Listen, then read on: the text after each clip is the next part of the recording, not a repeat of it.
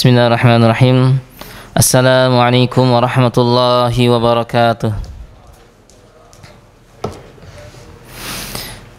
إن الحمد لله نحمد ونستعين ونستغفره ونعوذ بالله من شرور أنفسنا ومن سيئات أعمالنا من يهدي الله فلا مضل له ومن يضلل فلا هادي له أشهد أن لا إله إلا الله وحده لا شريك له وأشهد أن محمدا عبده ورسوله صلى الله عليه وعلى آله وأصحابه ومن تبعهم بإحسان إلى يوم الدين Jamaah sekalian rahimani wa rahimakumullah.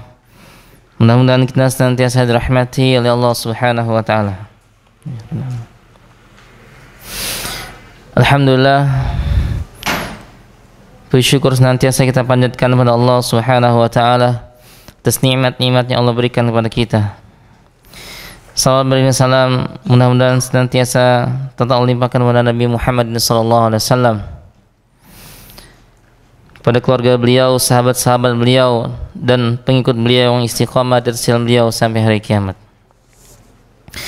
Insyaallah kita akan lanjutkan kajian kita kita Umdatul Ahkam min kalamin khairul anam li fadilati Syekh Abdul Ghani Al-Maqdisi rahimahullah. Kita masuk bab sujud sahwi. Kita masuki bab qala muallif babu sujud sahwi. Bab sujud sahwi. Nah, sahu atau sahwi apa arti sahwi? Lupa ya, lupa. Artinya as-sahu an-nisyan, yaitu lupa lupa. Wahwa atarku min ghairi ilmin. Meninggalkan sesuatu ya karena lupa tidak tahu. Karena karena kelupaan. Nah. Dan kelupaan ini dimaafkan oleh Islam ya. Innallaha tajawaza an ummati al khata wa nisyan wa mastukri Sungguhnya Allah Subhanahu wa taala memaafkan dari umatku salah, lupa dan yang dipaksakan kepada mereka. Nah, jadi kalau lupa maka itu dimaafkan, ya. Cuma tetap harus mengerjakan apa yang diwajibkan, ya. Bukan lupa berarti meninggalkan begitu saja tidak, ya. Sebagaimana orang lupa dari salat, man nama an salatin aw nasiyaha, barang siapa yang tidur dari salat atau dia lupa, apa dia tinggalkan salat tersebut? Enggak ya tapi tetap falisalliha idza dzakaraha. Hendaklah dia melakukannya kapan? tatkala ingat. Ya. Artinya dalam keadaan dia lupa dia dimaafkan. Namun setelah dia ingat maka harus mengerjakan mengerjakannya. Nah. Dan sahu ya atau sahwi Nah, sujud sahwi ini atau mana sahu itu sendiri? Sahu kalau sahu memakai an maka ini yang tercela ya. Sahu memakai an. Sahu anis salah sahu anis salah kalau sahu fis salah ya lalai di, di dalam salat maka ini tidak mengapa tidak tercela. Namun kalau lalai dari salat Nah ini yang tercela. Yang pertama lalai yang e, menggunakan an seperti firman Allah Subhanahu wa taala fawailun lil musallin. Celakalah bagi orang-orang yang salat alladzina hum an salatihim sahun. Yang mana mereka dari salatnya mereka lalai. Ya, lalai dari salatnya. Ini pakai an. Lalai dari salatnya artinya mereka menyia-nyiakan salatnya ya. Menyia-nyiakan sholat baik tidak mengerjakannya atau mengerjakan di luar waktunya. Ini lalai dari sholat dikatakan fawailun. Celakalah bagi orang orang yang sholat. Siapa? Orang yang lalai dari sholatnya. Kapan dia dikatakan lalai dari sholatnya? Tatkala dia sholat di, luar wak, waktu. Ya. Sholat asar dia tungguin. Sampai materi terbenam baru dia sholat asar dia salat di luar waktu asar. Nah ini saha anis salah. Ya, dia lalai dari salat. Ini yang dimaksud dalam ayat surat Al-Maun ini. Fawailul musallin alladzina hum an salatihim sahun. Ay alladzina yusalluna an waqtiha yaitu kharijal waqtiha. Orang yang salat di luar waktunya. Ini yang didoakan kecelakaan ya, celaka kata Allah Subhanahu wa taala. Ya, celaka baginya bagi orang-orang yang salat di luar waktu salat. Nah, adapun sahu di sini yaitu sahu fi salah, lalai dari salatnya. Maka ini ma'fun anhu, ya dimaafkan, ya, dimaafkan.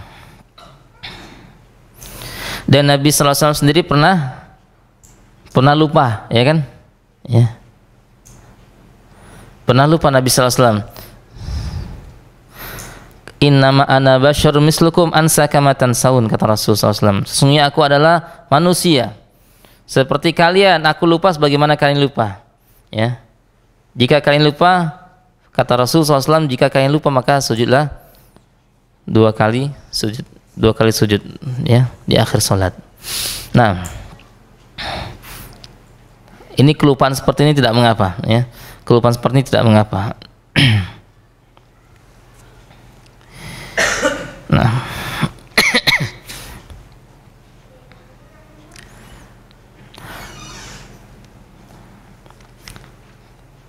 Kita masuk pada hadis yang pertama, ya.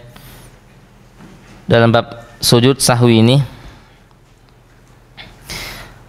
Qala Malik an Muhammad bin Sirin dari Muhammad bin Sirin, Muhammad bin Sirin.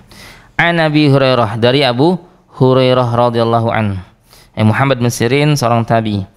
Dari sahabat Abu Hurairah radhiyallahu an qala Shalla bina Rasulullah sallallahu alaihi wasallam Salat bina Rasulullah sallallahu alaihi wasallam.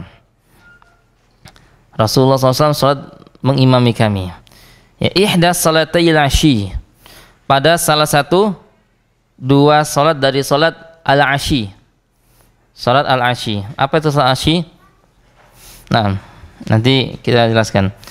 Qala Ibnu Sirin, Ibnu Sirin mengatakan wasammaha Abu Hurairah walakin walakin nasitu ana. Abu Hurairah menyebutkan salat tersebut tetapi aku lupa salat apa itu. Qala fasalla bina rak'atain. Lalu beliau salat bersama kami mengimami kami dua rakaat. Ya, salat mengimami kami dua rakaat. Ya. Salat asyi itu ima zuhur atau asar ya, yang empat rakaat. Fasalah binar atain maka beliau mengimam kami dua rakaat. Summa salam, kemudian salam. Ya. Setelah dua rakaat salam. Faqama ila khasyabatin ma'ruratin fil masjid. Ya, maka beliau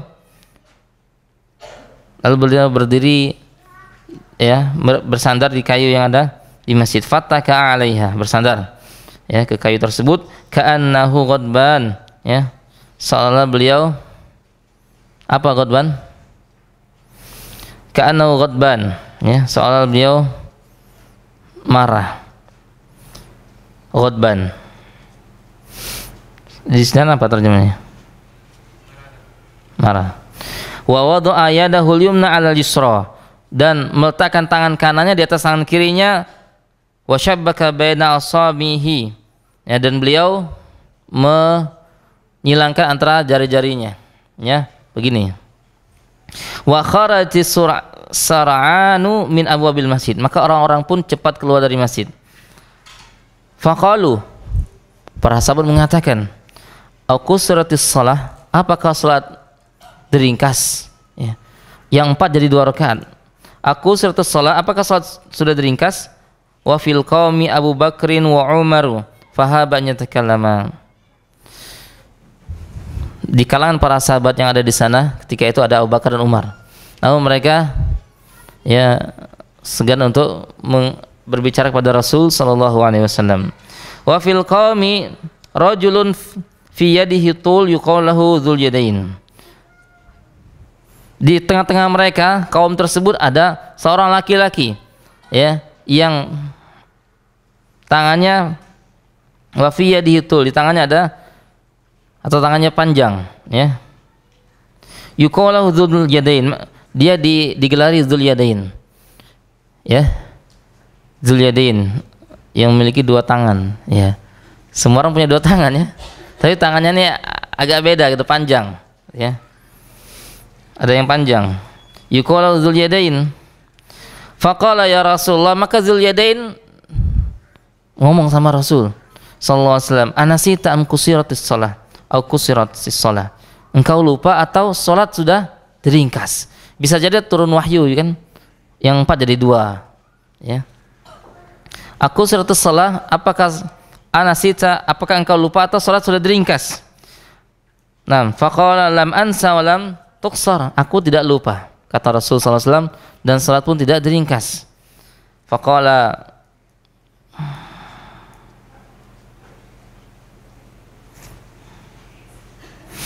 Di sini langsung dikatakan faqala akama yakul zul yadain Apakah sebagaimana yang dikatakan zul yadain? Nah, dalam jalan hadis yang lain riwayat Imam Bukhari zul yadain mengatakan bal nasid, bahkan kau lupa. Ya. Maka Rasul mengatakan akama yakul zul yadain apakah seperti yang dikatakan zul yadain? Qalu na'am. Sahabat yang mengatakan iya. Ya fataqaddama fasallama tarak maka Rasulullah SAW ya maju dan dia salat ya. Salat melengkapi salat yang dia tinggalkan tadi ya dua rakaat lagi. Matarka summa salam kemudian Rasul salam. Summa kabbar kemudian Rasul bertakbir wasajad dan sujud. Ini habis salam ya. Setelah salam Rasul kabar wasajad bertakbir Allahu akbar lalu sujud misla sujudihi au atwal. Seperti sujud ya, sujudnya Rasul SAW atau lebih lebih lama lagi. Summa rafa rasa wa kabar. Kemudian beliau mengangkat kepalanya dan bertakbir Allahu Akbar duduk antara dua sujud.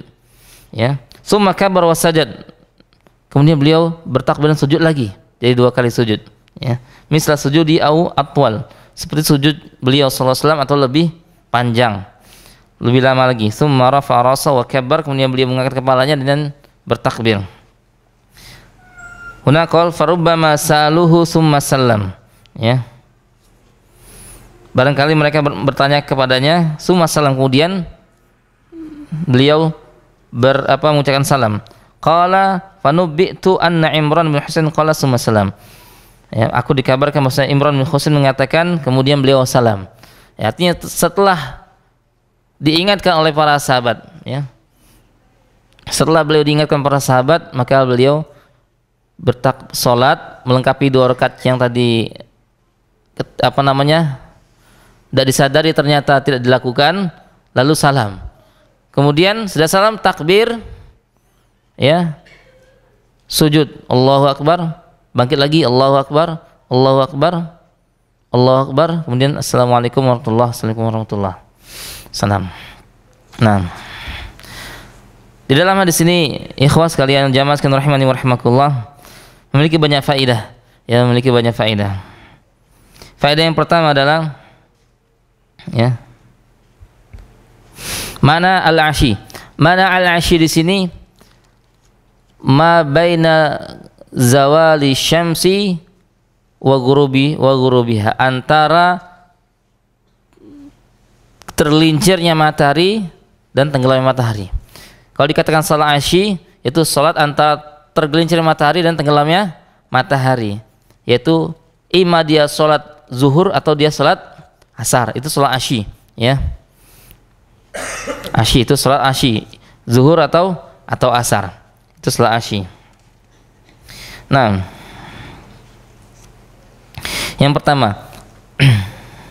Yang kedua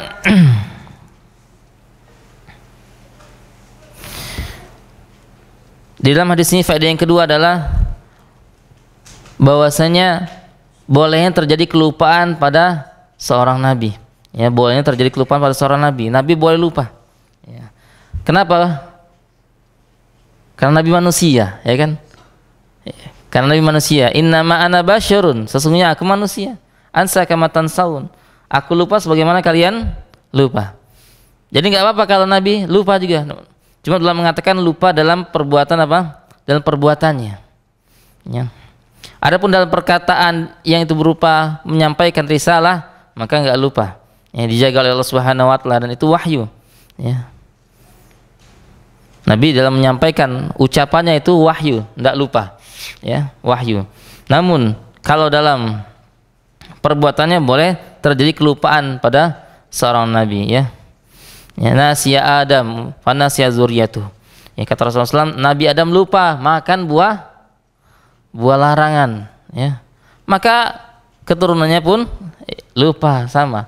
Ya, bapaknya lupa, maka keturunannya pun lupa, ya. Biasa, Nabi Adam sudah dikasih tahu nggak boleh makan buah larangan ini ya. Fala taqraba hadhihi syajarata fatakuna minal khasirin. Jangan dekati pohon ini, ya kamu akan merugi. Ternyata Nabi Adam lupa. Wanasya Adam wa Nabi Adam lupa dan keliru makan pohon buah dari pohon larangan tersebut. Nabi Adam lupa, fanasya zuriyatu, maka keturunannya pun lupa. Jadi tidak mengapa lupa, ya, itu terjadi pada pada kenabian. Namun dalam perkataannya itu merupakan uh, menyampaikan dakwah risalah ini tidak ada kelupaan di dalamnya. Ini yang dikatakan oleh ulama. Allah taala alam suwab. Nah, kemudian ada hikmahnya juga dalam lupa Nabi SAW ini. Apa hikmahnya? Yaitu disyariatkannya apa? Sujud sahwi, ya. Jadi ada hikmahnya, ya. Ada hikmahnya. Yaitu adanya syariat untuk umat Rasul SAW dalam keadaan-keadaan seperti ini, yaitu lupa dalam sholat sujud sahwi. Bagaimana? Kalau Rasul nggak pernah lupa, ketika sholat bagaimana kita umatnya? Ya kalau kita lupa apa yang kita lakukan? Ya. Nah ini. Jadi ada hikmahnya. Ini hikmah dari Allah Subhanahu wa taala ya atas lupa yang menimpa Rasul sallallahu alaihi wasallam. Untuk pensyariatan sujud sah sujud sahwi. Ini hikmahnya. Kemudian hikmah yang ketiga dari lupa adalah bahwasanya lupa ini ya merupakan uh, tasliyah yaitu hiburan. Hiburan bagi orang-orang yang lupa dalam sholatnya. Oh saya lupa sholat bukan karena antum imannya berkurang bukan. Ya. Bukan. Biasa lupa itu nabi saja lu lupa ya. Idza nasitu fadzkiruni kata Rasul SAW jika aku lupa maka ingatkanlah aku. Ya, ingatkanlah aku. Jadi kalau orang lupa dalam sholatnya bukan berarti dia itu apa imannya lemah bukan. Ya tapi ini adalah ya suatu yang Allah kehendaki. Dan ada solusinya itu apa? Sujud sujud sahwi. Nah.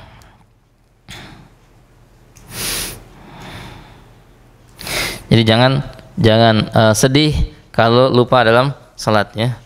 Nah Allah taala alam suhab kemudian faedah yang lain dari hadis ini. Ya bolehnya memberikan lakob atau memanggil dengan lakob jika dia tidak tidak membencinya. Seperti Zulyadain Nabi, Nabi mengatakan apakah akama yaqulu Zulyadain apakah seperti dikatakan Zulyadain ya. dia tidak membencinya. Nabi mengatakannya. Jadi tidak mengapa kalau misalkan di antara kita ada lakop-lakop tertentu yang dia tidak membencinya. Ya. Apa misalnya ya tapi kalau dia benci jangan. Misalkan dia pincang kakinya. Kita panggil si pincang. Dia benci jangan dipanggil. Ya tidak boleh. Ya. Itu bi salismul fusuku badat iman. Tidak boleh. Ya. Nama-nama yang tidak disukai tidak boleh kita memanggil dengan nama-nama tersebut. Coba kalau kita ada sesuatu yang tidak kita sukai. Misal kepala kita peyang gitu kan. Oh datang si peyang. Kira-kira marah nggak kita Iya, marah. Jadi jangan kita memanggil orang dengan yang disukai. Sebagaimana kita juga tidak suka kalau kita dipanggil seperti itu. Ya. Jangan kita panggil. Oh, ada si panjang. Ya. Ada si jangkung misalkan. Dia nggak suka jangan dipanggil, ya. Tapi kalau dia tidak mengapa, ya lah basah. Boleh-boleh saja. Ya, boleh-boleh saja. Nah, kalau dia tidak suka jangan jangan dipanggil ya dengan lakop tersebut atau gelar gelar tersebut. Nah.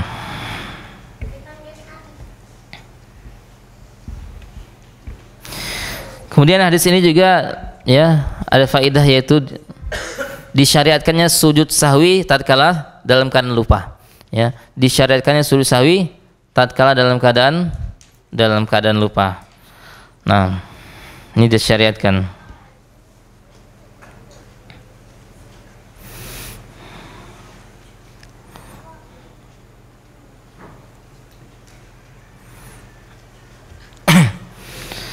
Kemudian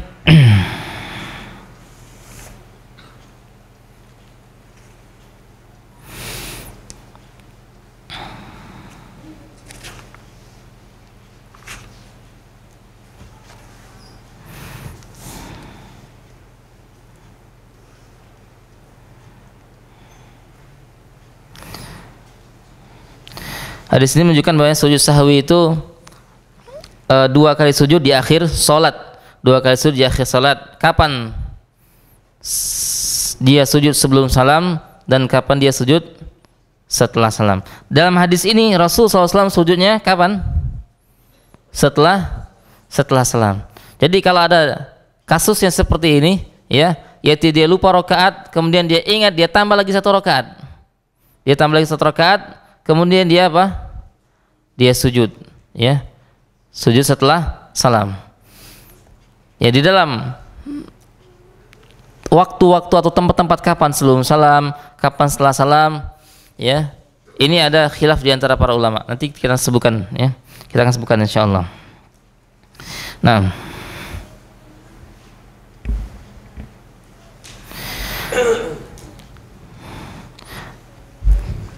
Keadaan makmum apabila dia Bagaimana jika seorang makmum menyempurnakan sholatnya dengan sengaja, ya?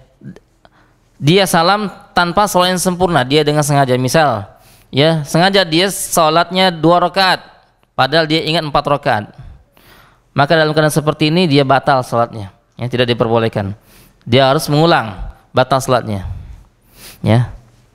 Namun dalam keadaan lupa, ya dalam keadaan lupa, maka kewajibannya adalah sujud sujud sahwi sujud sujud sahwi nah. Cuman ya ulama mengatakan intal al fasl jika jaraknya jauh gitu ya ya maka batal salatnya jika jaraknya jauh. Misalkan dia salat zuhur nih jam satu dua rakaat kemudian jam tiga dia baru ingat nah ini jauh jaraknya ya terlalu jauh pemisah ya antara ingatnya dari salatnya tersebut. Maka ini ulang dari awal. Yang kedua, dia ingat nih, ternyata dia sholat tinggal satu rakaat misalkan, sholat zuhur tiga rakaat, lupa dia, diingatkan temannya, kamu tadi sholat tiga rakaat, ya, ah, masa sih? Iya benar, tiga rakaat nih saya videonya, wah ada CCTV ya, misal kan ya, iya, ah, ternyata betul tiga rakaat, tetapi dia sudah berhadas, ya, maka dia lanjutkan satu rakaat atau ngulang lagi. Ngulang lagi. Karena nggak mungkin dia berhadas masa dia langsung apa? Nggak batal sholatnya ya kan? Sebagaimana kita berhadas di tengah-tengah sholat batal. Makanya ngulang dari awal ya kan? Apa lanjut? Tambah lagi. Dua rakaat lagi misalkan. Atau satu rakaat lagi enggak ya, ya. ketika dua rakaat batal dan itu sholat rakaat maka ngulang dari awal ya. Tidak lanjut lagi. Tidak lanjut tambah dua rakaat enggak. Tapi ngulang dari ulang dari awal ya sebagaimana wudhu ya. Pas batal ya. Ngulang lagi dari awal ya. Ulang lagi dari awal ya. nggak dilanjutkan lagi. Nah ini keadaan makmum bersama uh, ketika lupa ketika lupa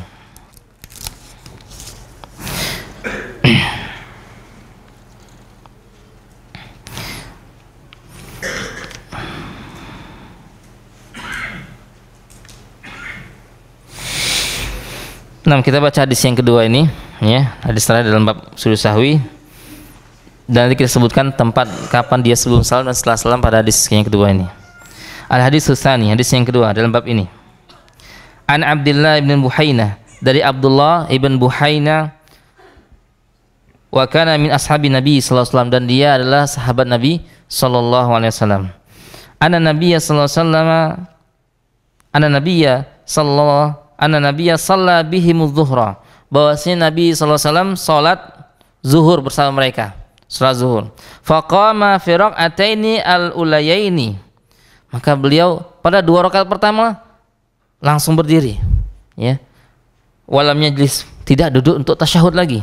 Enggak tasyahud awal langsung berdiri. Faqama nasu ma'ahu maka manusia pun berdiri bersama Nabi sallallahu alaihi wasallam. Hatta idza qada shalah sampai tatkala beliau menuntaskan salat wa antazara nasu taslima. Ya dan manusia menunggu salamnya Nabi SAW kabbara wa huwa jalis. Nabi bertakbir dalam keadaan duduk tasyahud tadi. Ya. Fasajada sajdatain lalu sujud dua kali sujud. Qabla an yusallim. Summa salam. Sebelum salam. Lalu kemudian baru beliau salam. Nah kita perhatikan. Hadis pertama Nabi sujud setelah salam. Hadis kedua ini yang mana beliau tidak mengerjakan tasyahud awal, maka beliau sujudnya sebelum sebelum salam. Nah, sekarang kita kapan sujud sebelum salam dan kapan kita sujud setelah salam. Nah, ini ada perbedaan ulama, ya. Ada yang mengatakan sujud sahwi itu sebelum salam semuanya. Ha. Sujud sahwi sebelum salam semuanya. Dan ini madhabnya Abu Hanifah. Ya sebelum salam semuanya. Ya sesuai dengan hadis yang pertama ini. Hadis uh, Abu Hurairah Yadain. Ya bahwasanya beliau sujud setelah eh sebelum apa setelah salam? Oh ya, setelah salam. Nah, Nah, qabla salam sebelum sebelum salam semuanya mazhab Abu Hanifah ya berdasarkan hadis hadis yang kedua ini. Hadis Ibnu Abdullah ibn Buhaina ini sebelum salam. Nah,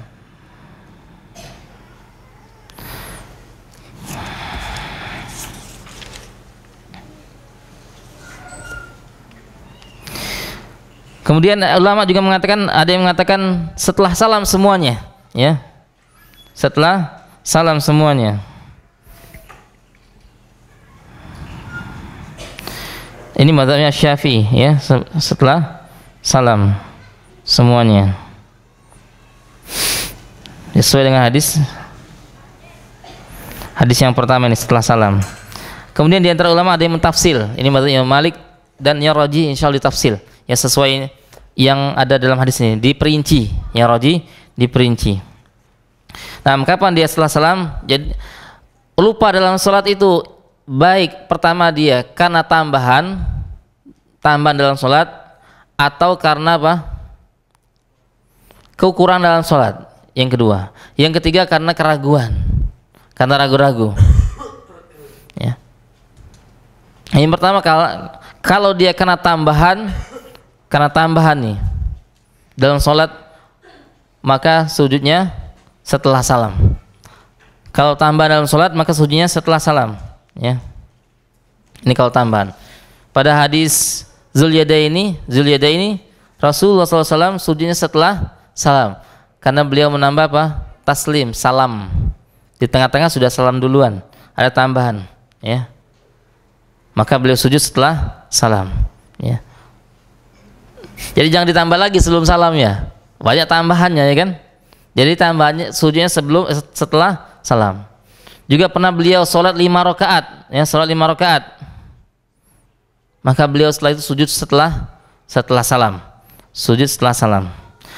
Kemudian yang kedua, kalau itu kurang, ya seperti hadis Ibnu Buhaina ini, Abdullah bin Buhaina kurang, misalkan kurang tadi apa tasyahud, enggak tasyahud, tapi langsung berdiri, maka sujud sahwinya sebelum sebelum salam. Ya. Jadi kalau tambahan kelebihan misalkan kelebihan baik itu kelebihan taslim atau kelebihan rokaat maka sujudnya setelah salam. Setelah salam. Ya. Kalau kekurangan maka sujudnya sebelum sebelum salam. Ya. Sujudnya sebelum salam. Nah, ini mudah gampang ya tinggal diingati aja. Oh, saya sholat lima rakaat nih. Berarti sujudnya setelah salam. baru salam lagi. Ya. oh saya kurang. Nggak tasyahud nih. Sudah berdiri benar mantap berdirinya nggak boleh lagi rujuk. Kalau sudah berdiri mantap ya kan? Nggak boleh kembali. Maka dia menggantinya setelah uh, sebelum salam. Kalau kurang dalam sholat sebelum sebelum salam sahwinya nah seperti itu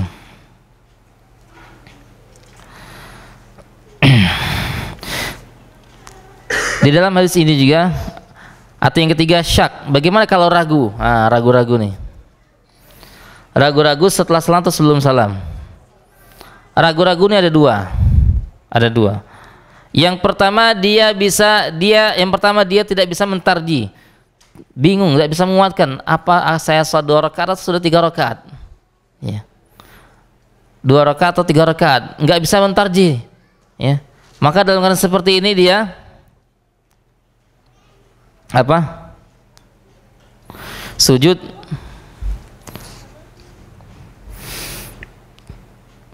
sujudnya sebelum salam. Kalau dia tidak bisa mentarji, sujudnya sebelum salam.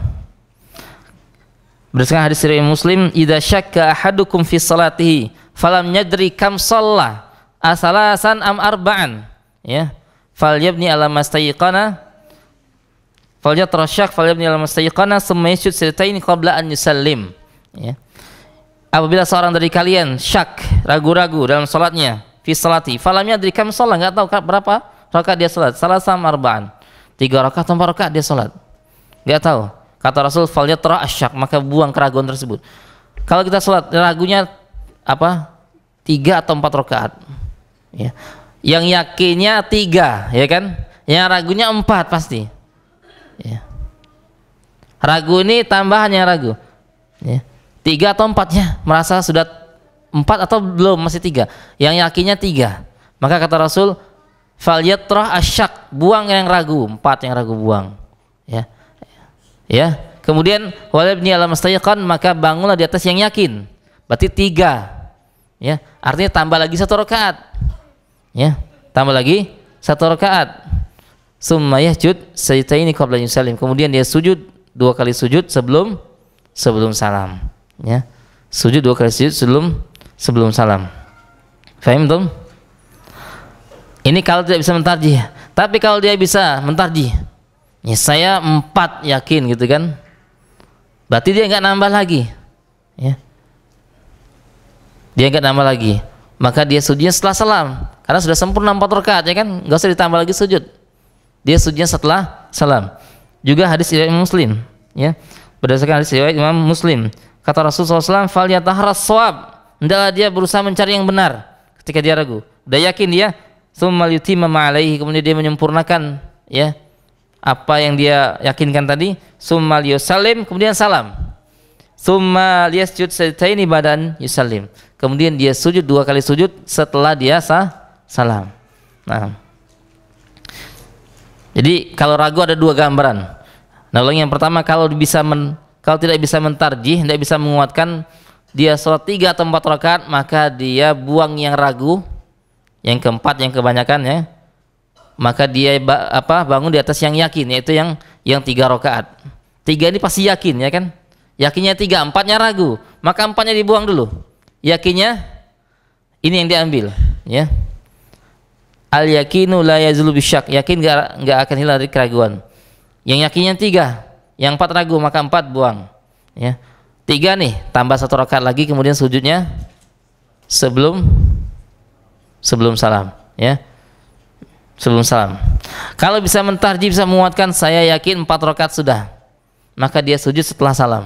Ya sujud setelah setelah salam. Ini kalau kita sholat sendirian ya kan? Baik sholat sunnah maupun sholat wajib sendirian misalkan. Baik lagi safar ya wajib sendirian atau kesiangan sholat wajibnya sendirian ya kan? Atau kita sholat sunnah sholat tahiyatul masjid misalkan. Kira-kira saya tadi udah dua atau masih satu rakaat ya? Nah bingung. Karena hati ini ke mana-mana gitu kan? Iya. Karena mikirkan apa nanti mau dikerjakan gitu kan? Bingung. Maka kalau bingung ya kalau nggak bisa mentarji maka sebelum salam kalau bisa mentarji maka setelah setelah salam seperti itu. Wallahu taala alam bisawab. Nah. Sudah dan belum?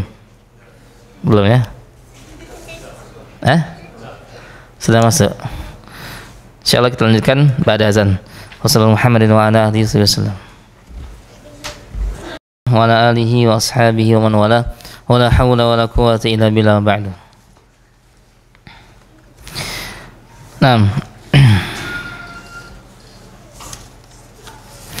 Kita lanjutkan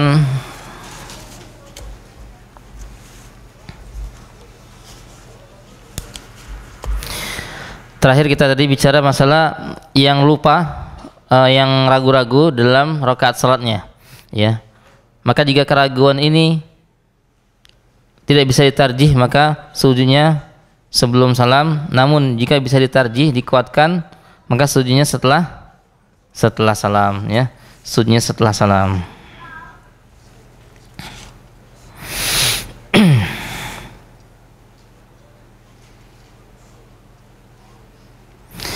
Dan ikhwas kalian masalah sujud sebelum salam atau sujud setelah salam ini, masalah afdoliyah saja. Ya. Baik yang sujud setelah salam semuanya atau sebelum salam semuanya tetap sah salatnya. Ya. Tetap sah semuanya. Namun ini masalah afdoliyah mana yang afdol? Ya, yang sesuai sunnah gitu kan? Yang sesuai sunnah Rasul SAW. Maka ada hadis-hadis yang membedakan antara sebelum salam dan setelah salam. Maka yang afdol kita mengikuti sesuai yang datang dalam hadis. Ya, sesuai yang datang dalam hadis Rasul Sallallahu Alaihi Wasallam. Nah, yaitu yang terakhir yang kita sebutkan secara secara terperinci tersebut.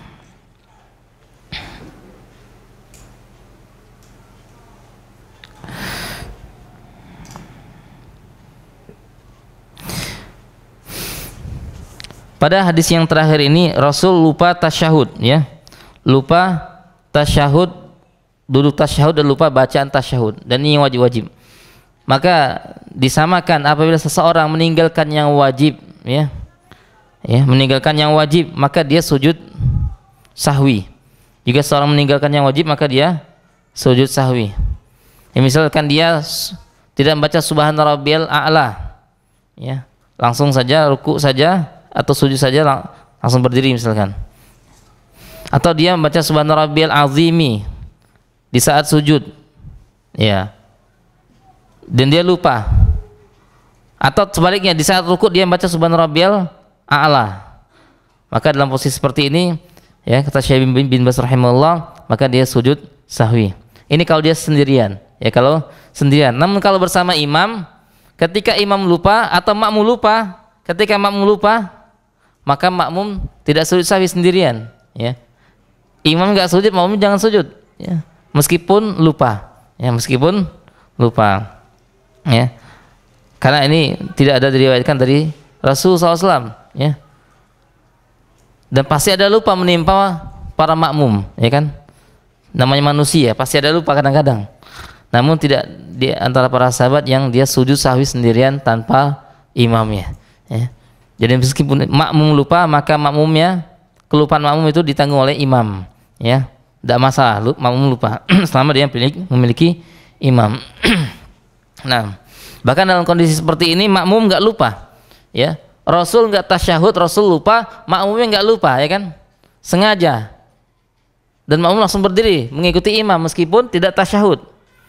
Makmum tidak diwajibkan sujud sahwi ya meskipun meninggalkan tasyahud dengan sengaja dalam kondisi dia memiliki imam. Ya, dalam kondisi memiliki imam. Imaman lah bahasa kita ya. Kalau imaman ya. Sesuai imam yang berdiri kita berdiri. Enggak tasyahud sendiri baru ikut imam enggak ya. Enggak. Imam lupa enggak apa langsung kita berdiri ikut ikut imam ya. Ikut imam. Nanti setelah itu baru diingatkan ya. Mam kan? Imam gitu ya antum kan biasa manggil ujung-ujungnya Pak Imam gitu ya ada Pak Imam. Tadi lupa gitu kan lupa tasyahudnya. Oh lupa saya ah, diingatkan. Ya. Maka sujud sahwi. Sujud sahwi. Tapi kalau sudah ingat sebelum salam ingat sebelum salam maka sebelum salam sujudnya ini ya. Tapi insya Allah ingat biasanya ya Kalau sudah kita kelupaan, nggak sujud, nggak tasyahud itu biasanya ingat langsung. Wah saya nggak tasyahud tadi, ya kan? Maka sujud sahwi. Ya sebelum sebelum salam, ya. Sebelum salam. Apalagi kalau uh, berjamaah. Kalau berjamaah, maka para makmum mengingatkan, ya. Jika aku lupa kata Rasul, maka fadzakirun ingatkan aku. Ketika imam berdiri dan belum sempurna, maka diingatkan langsung apa kalau laki-laki mengucapkan subhanallah ya kan?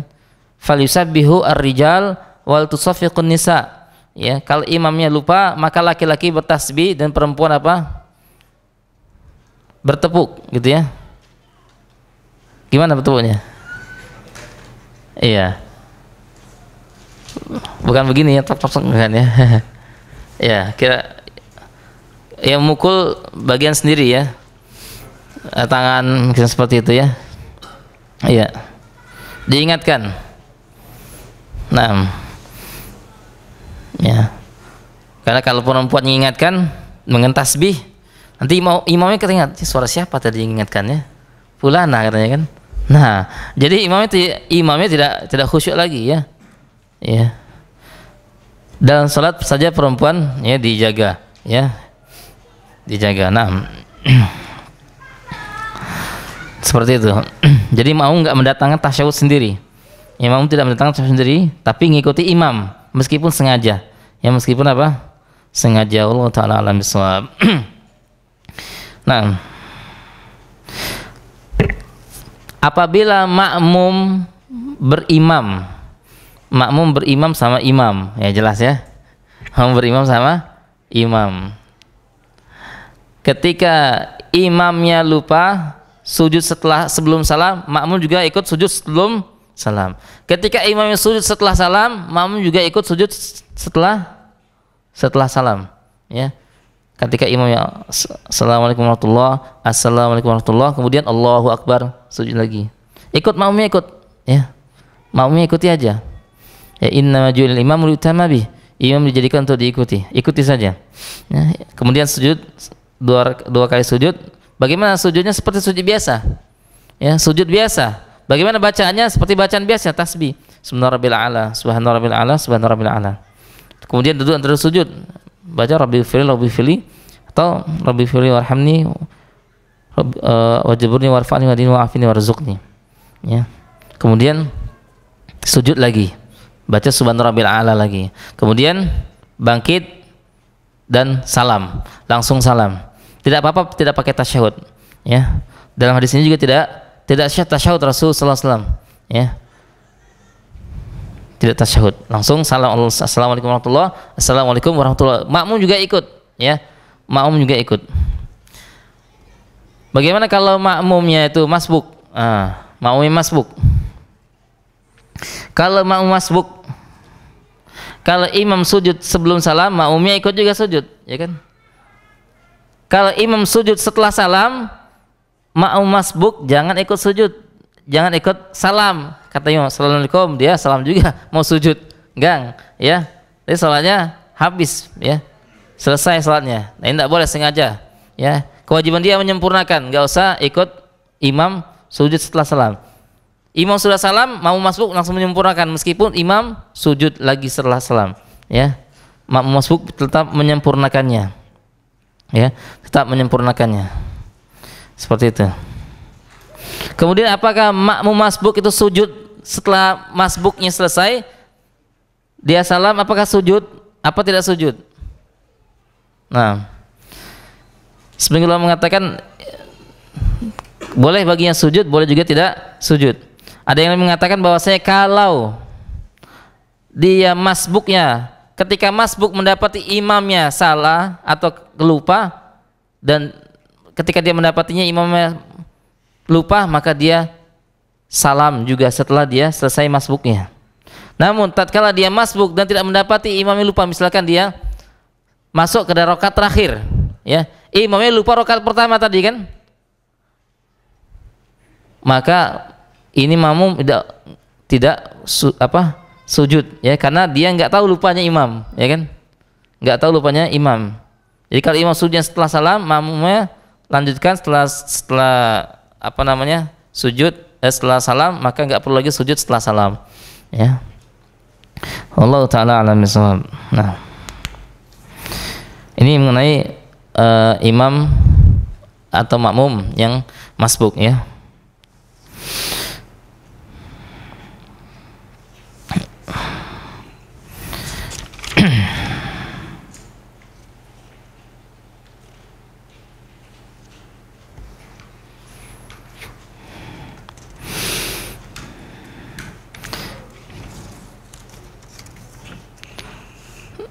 Nah, kita sampai di sini. Allah taala alam bisawab.